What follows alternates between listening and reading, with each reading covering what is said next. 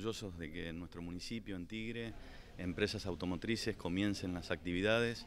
Realmente fue un trabajo muy arduo eh, que hicimos en conjunto con las tres jurisdicciones del Estado, municipal, provincial y nacional, y también en conjunto con la empresa y con las organizaciones gremiales.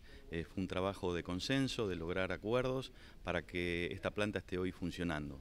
Realmente eh, tiene que ver con bueno, con una industria icónica de Tigre, la industria automotriz, y también con la economía de nuestra comunidad. La mayor parte de empleados son empleados de Tigre eh, y obviamente que es una empresa que también contribuye al sostenimiento de la economía municipal, de los servicios públicos municipales que brindamos. Así que eh, tiene que haber toda una sinergia de la empresa, de los trabajadores y del municipio, en este caso en el marco de, nuestro, de nuestra localidad, de nuestro de nuestra localía para poder generar las mejores condiciones posibles para el reingreso a la actividad. Aprovechamos eh, el encuentro para, para ver el estado de situación de, esta estrategia de ir desplegando las actividades económicas en el, Partido de Tigre. Estamos en una articulación permanente entre Nación, provincia y el municipio. Este es un municipio muy importante en términos de, la plataforma productiva nacional. Aquí se encuentra el lomo productivo de la cadena de valor del sector automotriz de la Argentina en buena parte, eh, así que y es, para nosotros el sector automotriz es